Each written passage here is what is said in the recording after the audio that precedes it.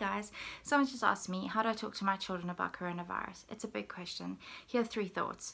First of all, I think you really want to educate your children about what the virus is, what it is and what it isn't, and help them dispel some of the rumors that are out there.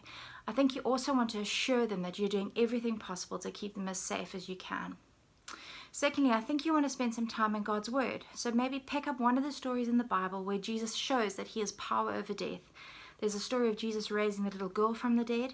There's a story of Lazarus in John chapter 11. Or you could even use Jesus' own death to show how he raised himself from the dead and that they can trust him as king over death and not have to be afraid of it.